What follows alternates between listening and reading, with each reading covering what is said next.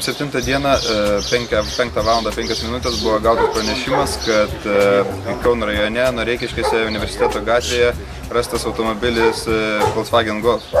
Nuvykę į įvykį vietą pareigūnai aptiko automobilį, automobilio buvo apgadinta priekinė dalis, bei nebuvo valstybinio numerio. Nustatyta, kad e, tai voktas automobilis.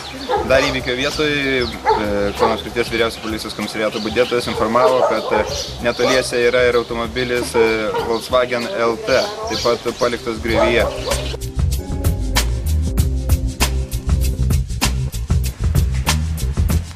Vykdami nurodyto adresu pareigūnai Šiltnamių gatvėje pastebėjo tris jaunuolius, kurie tik pamatę pareigūnus puolė į krūmus.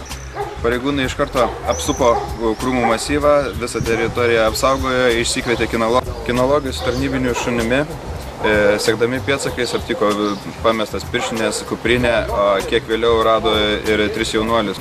Buvo panaudotas tarnybinis šuo, koviniai imtinių, veiks, imtinių veiksmai bei priemonės antrankiai. Jaunuoliai buvo sulaikyti ir pristatyti į komisariatą. Tai vienas iš jaunuolių yra nepilnametis, kiti du 18 mečiai.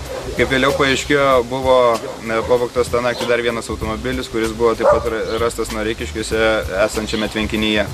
Tai buvo automobilis Mazda.